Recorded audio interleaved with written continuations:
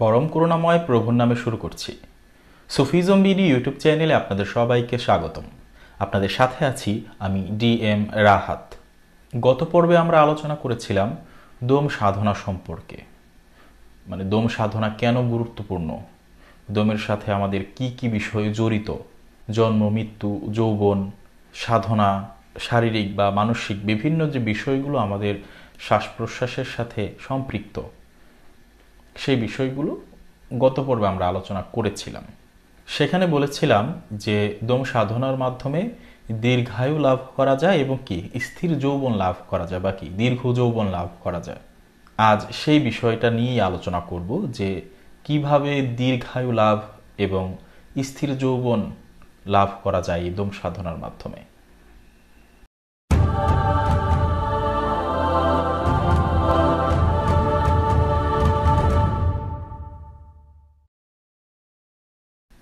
দীর্ঘায়ু লাভের বিষয়টি জানতে হলে আমাদেরকে আগে জানতে হবে, অল্প আয়ু কেন হয় বা কেন মৃত্যু হয়? মানুষ কেন মৃত্যুবরণ করে? এই বিষয়টি আমাদের আগে বুঝতে হবে। যদি আমরা এই বিষয়টি খুব ভালো মতো বুঝতে পারি, তবেই আমরা বুঝতে পারব কীভাবে আমাদের সে আয়ুকে বৃদ্ধি করা যায় এবং যৌবন স্থির করা যায়। অর্থাৎ আয়ু বৃদ্ধি পেলেই তো আমাদের যৌবনও বৃদ্ধি পাবে। মূলত প্রাণবায়ুর ঘাটতির কারণেই আমাদের মৃত্যু ঘটে। এই যে আমরা যে শ্বাস প্রশ্বাস নিচ্ছি, নেওয়াটাকে আমরা নিঃশ্বাস বলছি এবং ছাড়াটাকে আমরা প্রশ্বাস বলছি। এই যে নিঃশ্বাস প্রশ্বাস যাই বলি শ্বাস প্রশ্বাস এই যে দম যে আসা যাওয়া করছে, এটার একটা ঘাটতি হয়, যেটা আমরা গত পর্বেও বলেছিলাম। সেটা কি? সেটা হচ্ছে বাহিরে আসে বারো আঙ্গুল পরিমাণ এবং ভেতরে যায় কি? দশ আঙ্গুল পরিমাণ। তাহলে দুই আঙ্গুল পরিমাণ এখানে ঘাটতি হচ্ছে। আর আমাদের দৈনিক একুশ হাজার ছয় শতবার দম আসা যাওয়া করে। তাহলে এখন যদি আমরা সেই দুই আঙ্গুলকে, দুই আঙ্গুলি পরিমাণ যে শ্বাস প্রশ্বাস ঘাটতি হচ্ছে, যা প্রাণবায়ুর কমতি হচ্ছে, সেটাকে যদি আমরা একুশ হাজার ছয় শতবার দিয়ে গুণ দিই, তাহলে আসবে হচ্ছে তেতাল্লিশ হাজার দুইশত আঙ্গুল পরিমাণ কি প্রাণবায়ু ঘাটতি যাচ্ছে। এটা কি? প্রতিদিন যাচ্ছে। এটা হচ্ছে একটা স্বাভাবিক হিসাব। যেটা প্রথমেই বলেছি যে হুবহু একুশ হাজার ছয়শত বার হবে বা চব্বিশ হাজার বার হবে এরকমও না। আর আঙ্গুলের ব্যাপারটা সেটাও বলেছি যে আঙ্গুলও কি কম বেশি যাবে। বারো আঙ্গুল হচ্ছে কি স্বাভাবিক অবস্থায় যখন থাকে সেটা এখানে বারো আঙ্গুল পরিমাণই যে বের হবে তাও না। তবে যারা পূর্বের আলোচনাটি শোনেন নাই তারা হয়তো বা এই আঙ্গুলি বিষয়টা বুঝতে পারছেন না। আঙ্গুলি দ্বারা এখানে এই আঙ্গুলকে বুঝাচ্ছি। অর্থাৎ শ্বাস দশ আঙ্গুল পরিমাণ ভিতরে যায় এবং বারো আঙ্গুল পরিমাণ কি? বাইরে আসে। এখানে চার আঙ্গুল, আট আঙ্গুল, বারো আঙ্গুল। অর্থাৎ আমাদের যে প্রশ্বাসটা, সেটা কি? এই বাতাসটা বের হয়ে বারো আঙ্গুল পরিমাণ দূরে গিয়ে কি? মিশে যায়। কিন্তু ভেতরে যায় কি? দশ আঙ্গুল পরিমাণ। তাই দুই আঙ্গুল পরিমাণ প্রাণবায়ুর ঘাটতি ত্যাগ করছি আমরা। সেই হিসেবে তেতাল্লিশ হাজার দুইশত আঙ্গুল। এখানে কি হচ্ছে? প্রাণবায়ু ঘাটতি হচ্ছে। তাই আমরা কি মৃত্যুবরণ করবই। যদি আমরা এই ঘাটতিকে পূরণ করতে পারি বা কমে আনতে পারি, তাহলে কি আমাদের আয়ু বৃদ্ধি পাবে এবং কি? স্থির যৌবনও লাভ করা যাবে বা দীর্ঘ যৌবন লাভ করা যাবে। কারণ আগেও বলেছি যে অমর হওয়া সম্ভব না। এটা কোনো না কোনোভাবে ঘাটতি হবেই, ঘাটতি না হলেও কোনো না কোনোভাবে মানুষ মারা যাবেই। এবার আসি যে আসলে আমাদের কত আঙ্গুলি পরিমাণ প্রাণবায়ু ঘাটতি যাচ্ছে। অর্থাৎ দমের যে ঘাটতি, এটা কত আঙ্গুলি পরিমাণ যাচ্ছে? সেটা হচ্ছে, যখন আমরা চুপচাপ হয়ে বসে থাকি একদম স্বাভাবিক অবস্থায়, তখন দশ আঙ্গুল পরিমাণ ভেতরে যায় এবং বাইরে আসে হচ্ছে বারো আঙ্গুল পরিমাণ। যখন আমরা কথাবার্তা বলি খাওয়া দাওয়া করি, তখন দশ আঙ্গুল পরিমাণ ভেতরে যায় এবং বের হয় হচ্ছে আঠারো আঙ্গুলি পরিমাণ।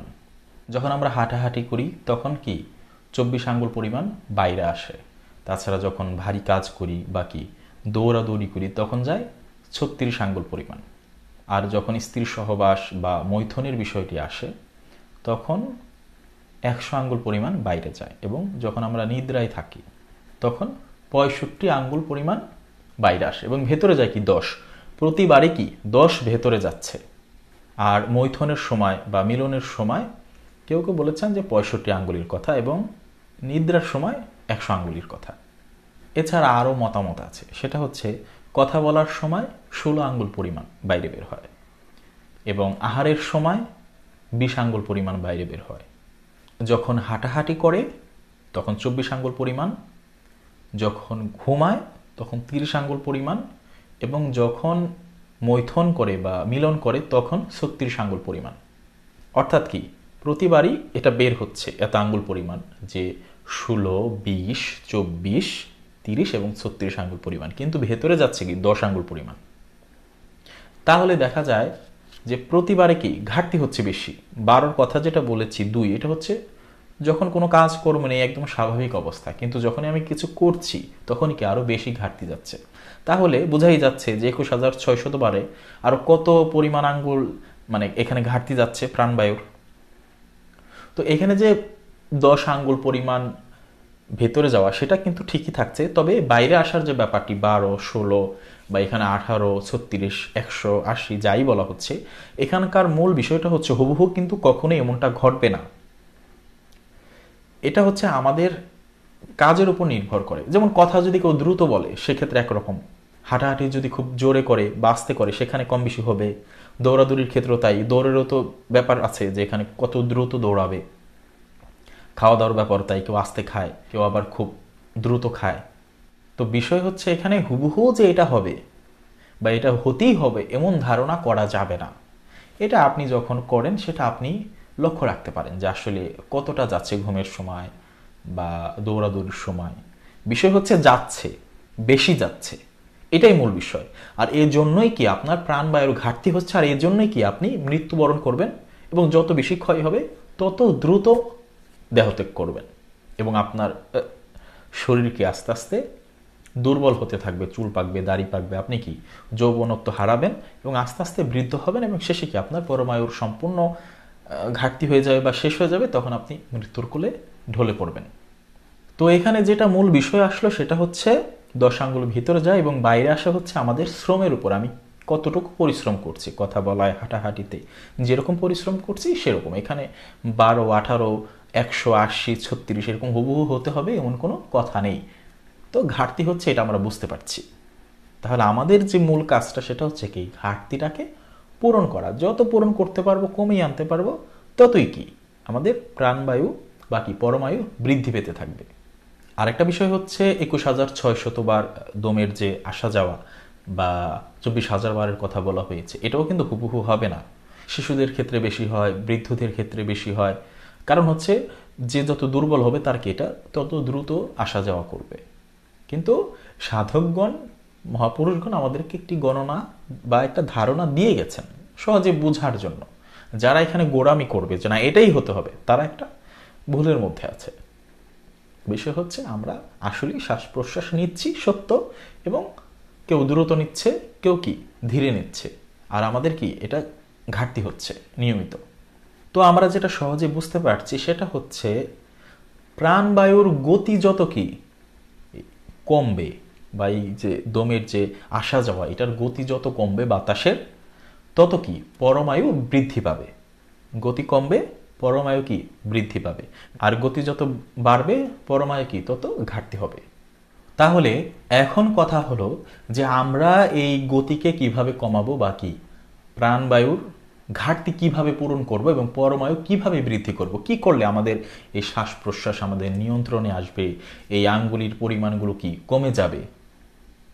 এটা কি করলে এটা সম্ভব? আর কিভাবেই আমরা সেই পরমায়ু বাকি আমাদের যৌবনকে ধরে রাখতে পারব? সেটা হচ্ছে প্রাণায়ামের মাধ্যমে এই প্রাণবায়ুর যে ঘাটতি, এটাকে কি করা যায়? পূরণ করা যায় এবং কি বাতাসকে রোধ করে রাখা যায়, আটকানো যায়। আর এই বাতাসকে আটকে রাখা, অর্থাৎ ধীরে ধীরে যাওয়া, এই যে বিষয়টাকে নিয়ন্ত্রণ করতে পারলে কি আমাদের আয়ু বৃদ্ধি পাবে? প্রাণায়াম কি? প্রাণ আয়াম প্রাণ মানে এখানে আমাদের প্রাণ বা জীবন বা আমাদের এই বাতাস, বায়ু, যাই ধরি। আর আয়াম মানে হচ্ছে কি? নিয়ন্ত্রণ করা।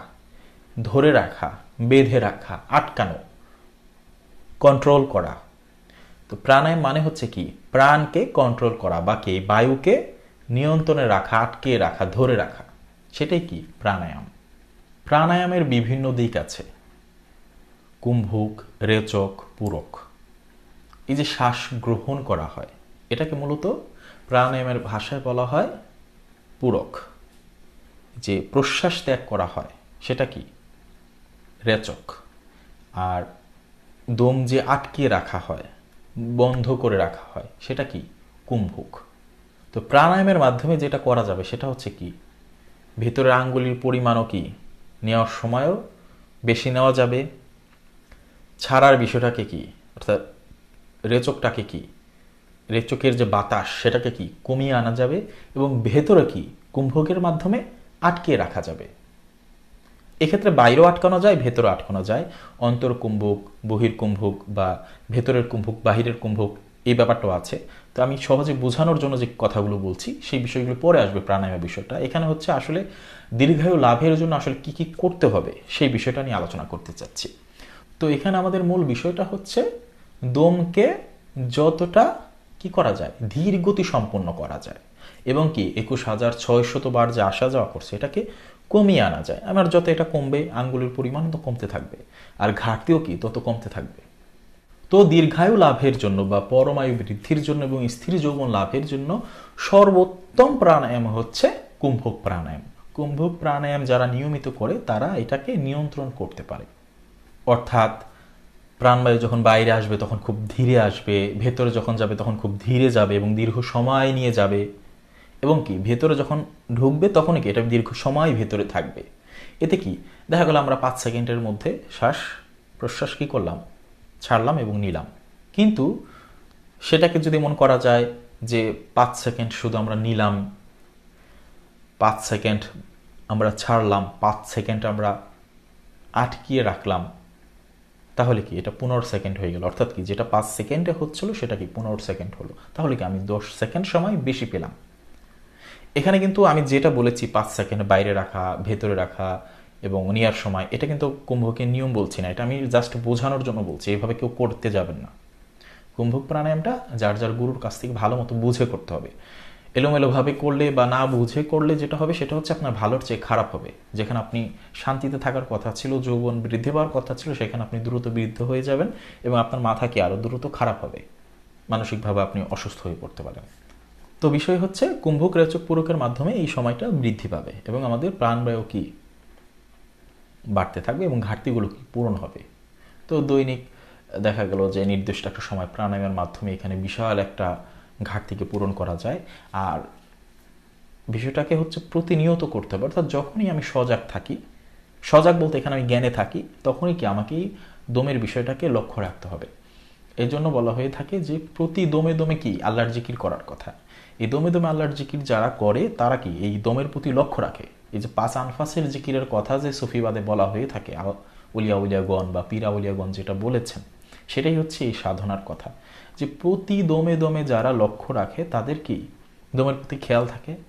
আপনি স্বভাবগত ভাবি, যদি দমের প্রতি খেয়াল রাখেন, তাহলে দেখবেন যে এটা একটু ধীরেই যাচ্ছে। কিন্তু যখন খেয়াল থাকবে না তখন কি এটা তার আপন নিয়মে দৌড়াদৌড়ি করবেন, যাই করবেন, তখন কি দ্রুত যাওয়া আসা করবে। কিন্তু যখন আপনি এখন থেকে আরও বেশিভাবে খেয়াল রাখবেন জিকিরের মাধ্যমে, তখন কি এটা নিয়ন্ত্রণে থাকবে। কতটুকু সময় বের করতে হবে, কতটুকু গতিতে ভেতরে নিতে হবে, কতটুকু আটকিয়ে রাখবেন, এটা বুঝতে পারবেন। তো এটা চব্বিশ ঘণ্টা, একটা সময় অভ্যাস হয়ে যাবে আপনার। আর প্রাণায়ামটা হচ্ছে নির্দিষ্ট একটা সময়, এক ঘণ্টা, দুই ঘণ্টা যারা করে। তাছাড়া আমরা কর্মজীবী মানুষ, তাই আমাদেরকে নির্দিষ্ট একটি সময় নির্ধারণ করতে হবে। আর যতটুকু সম্ভব সময় আমাদের খেয়াল রাখতে হবে, যেন প্রাণবায়ুর ঘাটতিটা কি? কমাতে পারি আমরা। অর্থাৎ দীর্ঘ যৌবন লাভ করার অন্যতম উপায় হচ্ছে প্রাণায়াম করা। প্রাণায়ামের মাধ্যমে এটা সম্ভব। এখন অনেকেই হয়তো বা বলবেন যে আমরা প্রাণায়াম করার নির্দিষ্ট সময় পাই না বা সবসময় খেয়াল রাখা আমাদের পক্ষে সম্ভব হয় না। আমরা কীভাবে আমাদের পরমায়ু বৃদ্ধি করব এবং যৌবনকে স্থির রাখতে পারব? তাদের জন্য একটি সহজ উপায় হচ্ছে এই, যেটা গত পর্বে বলেছিলাম। আপনাদেরকে কথাগুলো বুঝতে হলে সবগুলো বিষয় বুঝতে হবে। যে ডান বা দক্ষিণ নাসিকা এবং কি? বাম নাসিকা। এই যে নাকের যে দুইটা ছিদ্র এখানে, ইরা পিঙ্গলার যে ব্যাপারটা, তো বিষয় হচ্ছে ডান বা দক্ষিণ হচ্ছে কি? সূর্য এবং বাম হচ্ছে কি? চন্দ্র। তো সূর্য কখন উঠে দিনের বেলা। অর্থাৎ যখন ডানে থাকবে তখন দিন, যখন বামে থাকবে তখন কি? রাত। আর আমাদের দেহ ভাণ্ডের সাথে যে দেহ যে একটা পৃথিবী বা ব্রহ্মাণ্ড, তার সাথে কি বাইরের পৃথিবীর একটা সম্পর্ক আছে? একটা না, এখানে পুরো সম্পর্ক আছে। তাই যেটা করতে হবে সেটা হচ্ছে, বাইরে যখন দিন, অর্থাৎ জগতে যখন দিন, তখন আমার দেহের মধ্যে দিন রাখা যাবে না। রাত করতে হবে। আর যখন বাইরে রাত, তখন আমার দেহে কি? রাত রাখা যাবে না। দিন করে দিতে হবে। অর্থাৎ দিন বয়ে গেলে বা রাত বয়ে গেলেই তো আমার এখানে ঘাটতি হচ্ছে। এটা কিন্তু হুবহু বোঝানোর জন্য বলছি না, জাস্ট বিষয়টাকে উপলব্ধি করানোর জন্য যে কেমন ব্যাপারটা, কেন এমন হবে এটা। যে যখন দিন কেটে গেল, রাত কেটে গেল, তখন কি আমার আয়ু কেটে গেল? কিন্তু যখন আমি দিনকে, রাত এবং রাতকে দিন করছি, পরিবর্তন করছি, তখন কি? রাতটাও যাচ্ছে না, দিনটাও যাচ্ছে না। কারণ আমি রাতও পাইনি রাতের সময়, দিনও পাইনি দিনের সময়। তো এটা তো আর দিনকে, এই পৃথিবীকে তো পরিবর্তন সম্ভব না। কিন্তু আমার দেহটাকে কি? আমার দেহের মধ্যে যে দিন রাত চলছে, সেটাকে কিন্তু আমি চাইলে পরিবর্তন করতে পারি। যদি আমি বাইরের দিন রাতের সাথে আমার দেহের দিন রাতকে পরিবর্তন করে নিই, তাহলে আমার আয়ু বৃদ্ধি পাবে এবং কি? যৌবনও বৃদ্ধি পাবে। অর্থাৎ বাইরে যখন দিন, তখন আমাকে ব্যবস্থা করতে হবে যে আমি বাম নাসিকায় শ্বাস নিব। অর্থাৎ আমার দেহে কি? রাত চলাচল করবে, আমি আমার দিনকে বন্ধ রাখব মানে ডানকে বন্ধ রাখব। আর বাইরের দুনিয়া, এই বাহ্যিক দুনিয়া যে আছে, আমি যে দুনিয়ায় বসবাস করছি, এখানে যখন রাত, তখন আমি কি করব? আমার দেহে আর রাত থাকতে দিব না। অর্থাৎ আমি বাম নাসিকা দিয়ে শ্বাস না নিয়ে ডান নাসিকা দিয়ে শ্বাস প্রশ্বাস নেওয়া আশা করব। অর্থাৎ তখন আমার দেহে দিন থাকবে। তো যখন দিন কে রাত বানাবো, রাতকে দিন বানাবো দেহের মধ্যে, তখন কি আমার পরমায়ুটা ঘাটতি অনেক কমে যাবে। এবং শরীরের যে ব্যাপারটা, প্রভাবটা, এটা আস্তে আস্তে সে বুঝতে থাকবে না মানে প্রভাবিত হবে। সে দীর্ঘ যৌবন এবং পরমায়ু লাভ করতে থাকবে। অর্থাৎ যে বিষয়টা বলতে চাচ্ছি সেটা হচ্ছে, দিনের বেলায় যত বাম দিকে শ্বাস যাওয়া আশা করবে, তত আয়ু বৃদ্ধি পাবে এবং রাতের বেলা যত ডান দিক দিয়ে শ্বাস যাওয়া আশা করবে, তত আয়ু বৃদ্ধি পাবে। এবং দিনের বেলা যত ডান দিক দিয়ে শ্বাস প্রবাহিত হবে, তত আয়ু ঘাটতি হবে এবং রাতের বেলা বাম দিয়ে যত শ্বাস প্রবাহিত হবে, তত কি? প্রাণের ঘাটতি হবে। তো এখন কথা হচ্ছে, কেন আসলে পরমায়ু ঘাটতি পূরণ হবে এই দিন রাত্রে পরিবর্তনের মাধ্যমে? কারণ, যখন আপনি ডান নাসিকা আটকিয়ে রাখবেন, বাম নাসিকা দিয়ে শ্বাস প্রবাহিত হবে, তখন যেটা ঘটবে, ওই যে এক ঘণ্টার যে ব্যাপারটা রেগুলার যেটা হয়, তখন তো স্বাভাবিকভাবেই সে যাওয়া আসা করবে। কিন্তু যখন ডানে আসার কথা ছিল, তখন সে ডানে আসতে পারবে না, কিন্তু শ্বাস প্রশ্বাস নিতে একটু কষ্ট হবে এবং সে এমনি একটু ধীর গতি হয়ে যাবে। যেটা বলেছি যে শ্বাস প্রশ্বাস যখন কেউ লক্ষ্য রাখবে, তখন দেখবেন যে একটা দিক খুব দ্রুত যায় আর একটা দিক খুব আস্তে আস্তে আস্তে আস্তে। তো যখন আপনি ডানটা আটকিয়ে দেবেন, তখন কি? বামে যখন থাকার কথা, তখন তো ঠিকঠাকই চলবে, কিন্তু যখন ডানে আসার কথা, তখন তো আর ডানে আসতে পারবে না, কিন্তু তখন কি? সে ধীর গতি হয়ে যাবে। এই যে ধীর গতির কারণেই তো আপনার সময় বাড়ছে। আবার যখন আপনি বাম আটকাবেন, তখন যখন ডানে চলাচল করার, তখন তো ডানে ঠিকই করল এক ঘণ্টা, কিন্তু যখন বামে আসার কথা ছিল, তখন তো সে আসতে পারছে না। তখন কি সেটা ধীর গতি হয়ে গেল? এবং আপনি লক্ষ্য করলে দেখবেন যে প্রাণায়াম করার সময় যে একটা মানে কষ্ট অনুভূতি হয়। এখানে কষ্ট দ্বারা ওই যে দম আটকে রাখলে ধীরে নিলে একটু ই হয় শরীর। যারা প্রাণায়াম করে তারা ঘেমেও যায় এই জন্য। একটা পরিশ্রম এখানে। তো তখন আপনি যখন এটা আটকিয়ে রাখবেন, তখন কিন্তু আপনি এটা উপলব্ধি করতে পারবেন যে আপনার এখানে এক ধরনের শ্রম যাচ্ছে বা কি পরিশ্রম হচ্ছে। এই আস্তে ধীরে যাওয়ার ব্যাপারটা আপনি লক্ষ্য করবেন। তো আমাদের মূল বিষয়টাই তো ছিল যে আস্তে বা ধীরে করার যে ব্যাপারটা। তো প্রতিনিয়ত তো এরকম করা সম্ভব না। আর একাধারে যা আটকিয়ে রাখব, তাতেও কি আমাদের সম্ভব না? কারণ যদি প্রতিনিয়ত আমরা মানে কষ্ট করি শ্বাস নিতে থাকি, তাহলে দুর্বল হয়ে যাব এবং অসুস্থ হয়ে যাব। তাই কি এক ঘণ্টা স্বাভাবিকভাবে শ্বাস নিব এবং এক ঘণ্টা স্বাভাবিক নিয়মে নিব না? যখন ডান নাসিকা আমি আটকে রাখব, তখন বামে শ্বাস প্রবাহিত হচ্ছে, ধরেন এক ঘণ্টা। রেগুলারভাবে যেটা হওয়ার কথা হচ্ছে। কিন্তু দেখা গেল, এক ঘণ্টা পরে সে ডানে চলে আসবে। তখন কি সে আসতে পারছে না? তখন কি সে কষ্ট করে শ্বাস নিচ্ছে? কিন্তু এক ঘণ্টা পরে তো তার ডান থেকে আবার বামে আসার কথা ছিল। অর্থাৎ কি? এক ঘণ্টা পরে কিন্তু আবার সে স্বাভাবিক হয়ে যাবে, আবার তার শ্বাস নিতে কোনো কষ্ট হচ্ছে না। অর্থাৎ বারো ঘণ্টার মধ্যে ছয় ঘণ্টা কষ্ট হবে, ছয় ঘণ্টা কষ্ট হবে না। অর্থাৎ মোট চব্বিশ ঘন্টায় আপনি ছয় ঘণ্টা বারো ঘণ্টা কষ্ট করে শ্বাস নেবেন এবং বারো ঘণ্টা স্বাভাবিকভাবে নেবেন। এটা এক ঘণ্টা পর পর হবে, তাই আপনার কি তেমন কোনো অসুবিধা হবে না। আর এতেই কি আপনার প্রাণবায়ু বৃদ্ধি পেতে থাকবে। এখন নাসিকার ছিদ্র বন্ধ করার জন্য আপনি তুলা ব্যবহার করতে পারেন। বা অন্য কিছু কাপড়, পাতলা কাপড়, যেটা আপনার জন্য সুবিধার হয় এবং মানুষও বুঝতে না পারে। এখানে মানুষ বুঝতে না পারার বিষয়টা বললাম হচ্ছে অনেক অনেক কিছু বলতে পারে, যেটা আপনার কাছে খারাপ লাগবে। আপনি এমনভাবে করেন যেন কেউ না বুঝে বা এমন সময় করেন যখন আপনি ঘরে আছেন, বাসায় আছেন, একটা তুলা দিয়ে একটা ছিদ্র আটকিয়ে রাখেন, এটা আপনি করতে পারেন। তাতে আপনার এই মানে এটা কাজে আসবে। আর অনেকেই হয়তো বা প্রাণায়ামের বিষয়গুলো জানতে চাইবেন। যে প্রাণায়াম কীভাবে করব, আমি আস্তে আস্তে এইসব ব্যাপারগুলো নিয়েও আলোচনা করব যেন আপনারা প্রাণায়ামও করতে পারেন, ভিডিওগুলো দেখে সহজভাবে। কঠিন কঠিনগুলো বা অন্য অন্যগুলো তো বিভিন্নভাবে শিখতে পারেন বিভিন্ন একাডেমির মাধ্যমে। আর সবচেয়ে বড় কথা হচ্ছে আপনাকে গুরুর কাছ থেকে শিখতে হবে। তারপরও অনেকে আছেন বিভিন্ন একাডেমি থেকে শিখে, প্রতিষ্ঠান থেকে, সেটা আলাদা ব্যাপার। তো সাধারণ কিছু নিয়ম কানুন যেগুলো সবাই করতে পারবে, এমন বিষয়গুলো নিয়ে প্রাণায়ামের পদ্ধতিগুলো নিয়েও আমি আস্তে আস্তে আলোচনা করব। তো আশা করি আপনারা আজকের বিষয়টি বুঝতে পেরেছেন। তারপরেও যদি কেউ না বুঝে থাকেন, মন্তব্য করবেন, আমি অন্য কোনো ভিডিওতে সেটা নিয়ে আলোচনা করার চেষ্টা করব। আজ এই পর্যন্তই, ধন্যবাদ সবাইকে।